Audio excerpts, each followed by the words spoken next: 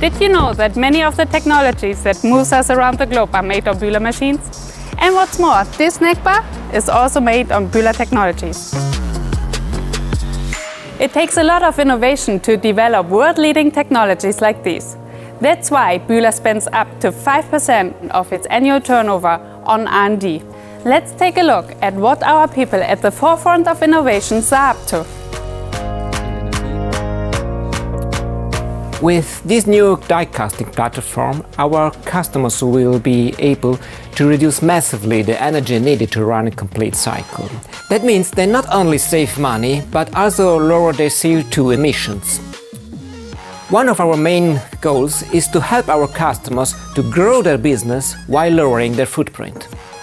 Thanks to the rapid prototyping we can do here in the makerspace, we are able to come up with creative approaches and solutions fast. This way, we can support our R&D colleagues with new insights into the topics they are looking at.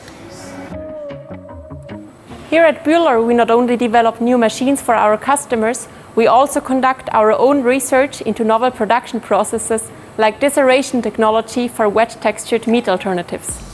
In our research and training centers, our customers can carry out trial runs, fine-tune their processes and discover the best way to scale their production. We also like to share our know-how during workshops and trainings. Our R&D feeds directly into our growing portfolio of solutions, which enables us then to provide our customers with the tailored solution they need.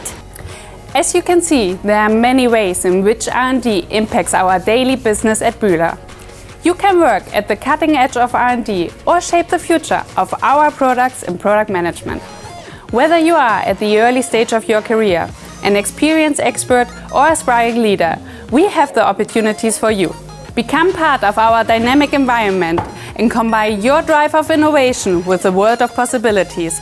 Let's create impact together.